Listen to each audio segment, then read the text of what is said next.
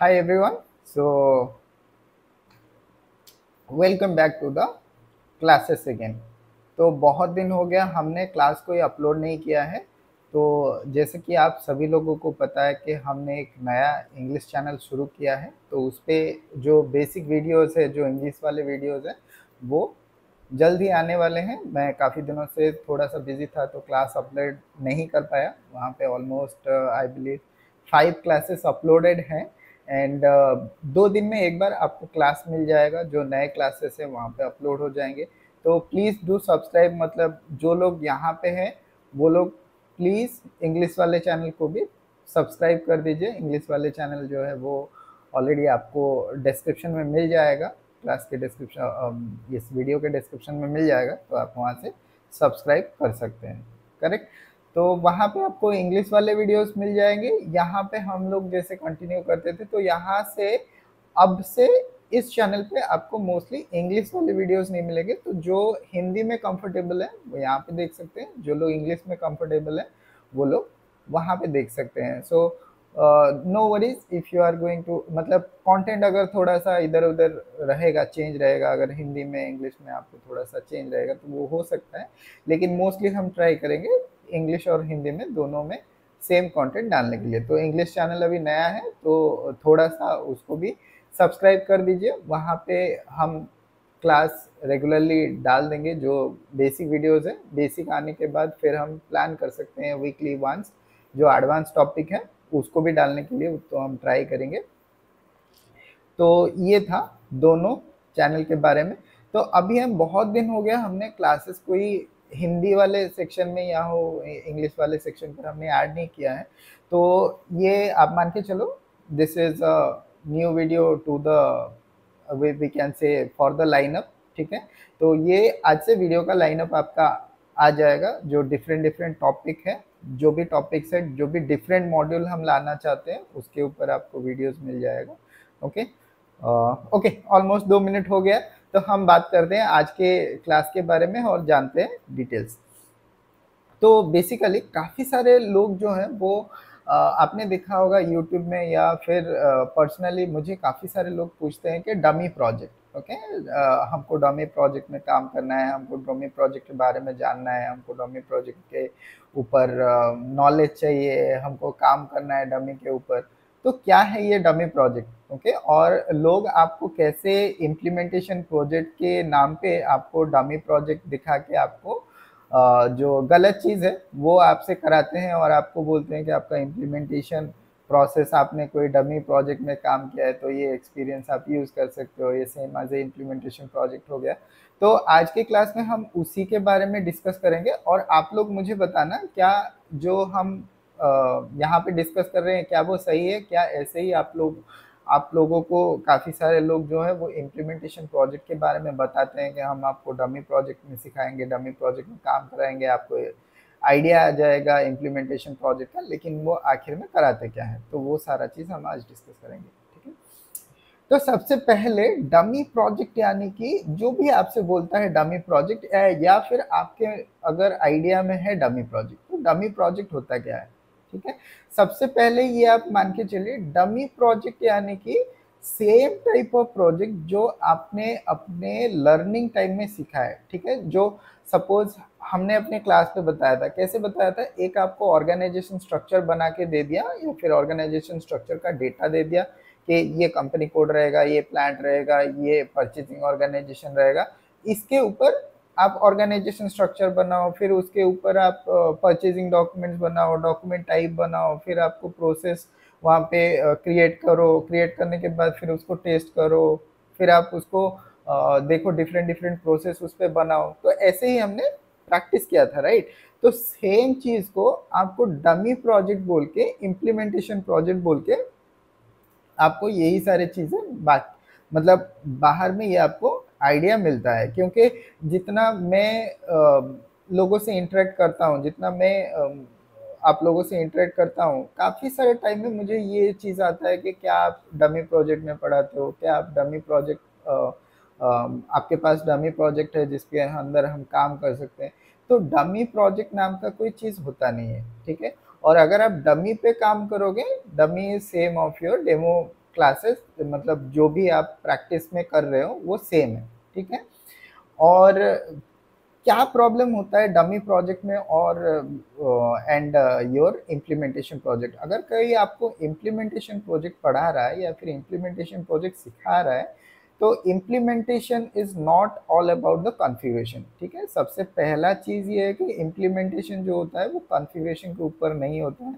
Configuration अगर हम मान के चले कि एक हंड्रेड परसेंट का टाइमलाइन है तो उस पर ओनली टेन परसेंट का जो टाइमलाइन होता है, वो ओनली आपका कॉन्फ़िगरेशन में जाएगा। अगर हम इम्प्लीमेंटेशन प्रोजेक्ट की बात करें, उस पर टेन परसेंट जाता है, ठीक है?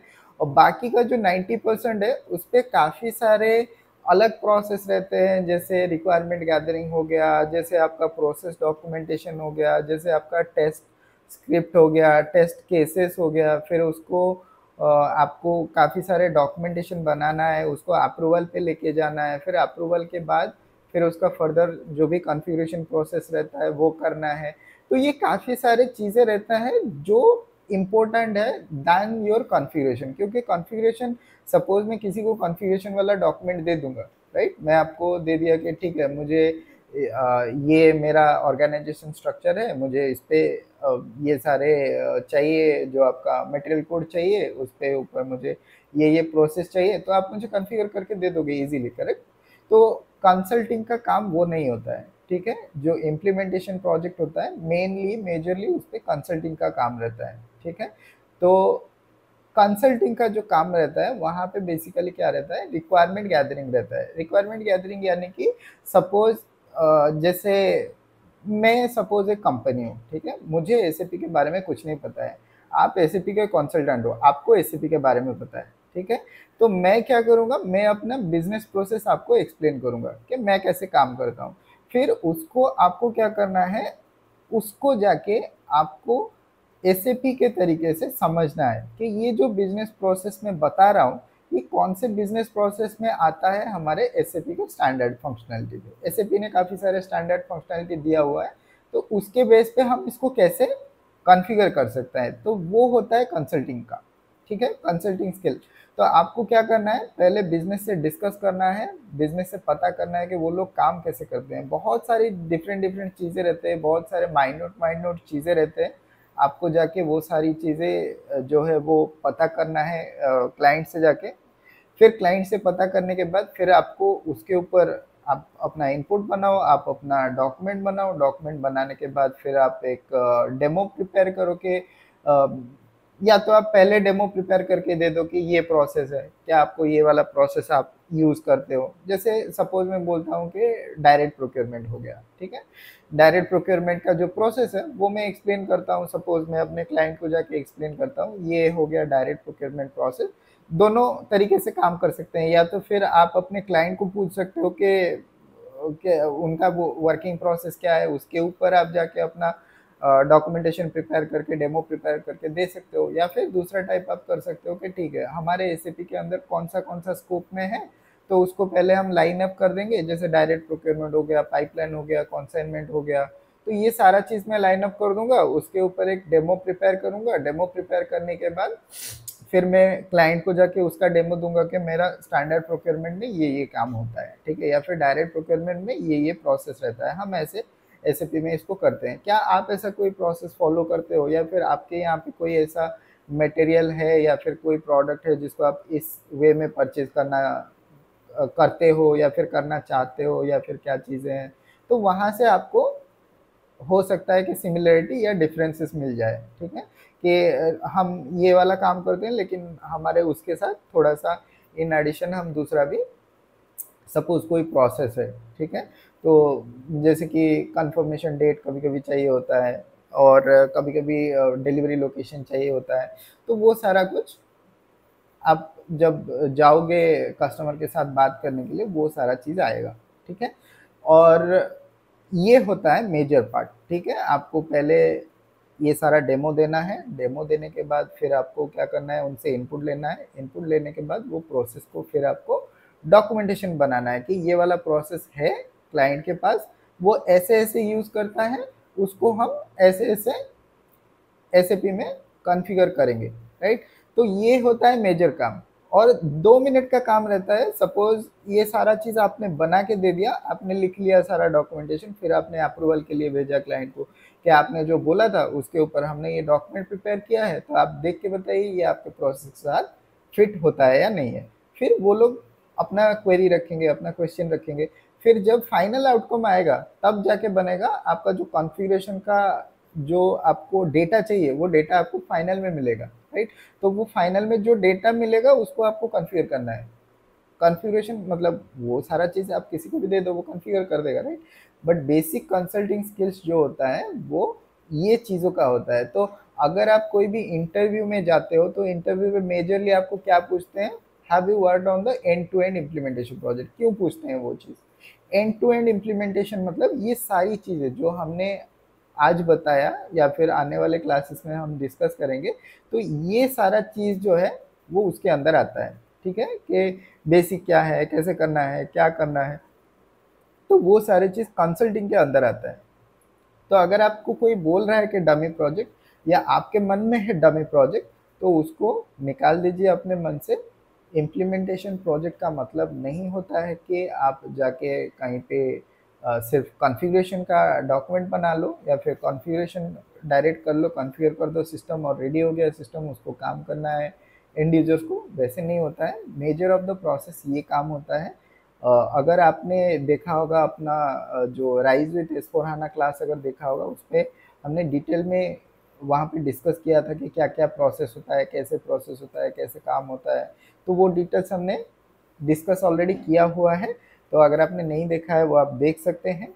और अगर आपके मन में डमी प्रोजेक्ट अब तक का जो आपके मन में था डमी प्रोजेक्ट यानी कि हम जाके हमको इम्प्लीमेंटेशन का फ़ाइल मिलेगा और हम इम्प्लीमेंट कर देंगे अपना एसएपी को तो वो सारा चीज़ भूल जाइए।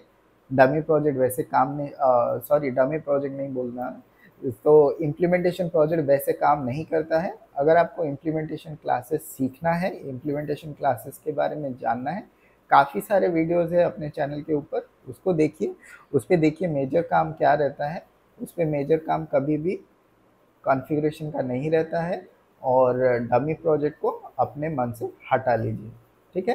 तो ये था बेसिकली आज का क्लास तो आई होप आप लोगों के मन से थोड़ा सा कुछ जो मिथ वगैरह है एस के इम्प्लीमेंटेशन के बारे में, वो दूर हुआ होगा। I hope I have clear your doubt तो काफ़ी सारे लोगों का ये डमी प्रोजेक्ट का डाउट रहता है। तो I hope I have clear that one तो अगर आपको क्लास अच्छा लग रहा है तो आप इसको लाइक कर सकते हो शेयर कर सकते हो अपने दोस्त लोगों के साथ। और मिलते हैं हम अगले क्लास में। तब तक के लिए गुड बाय जय Hind and take care keep learning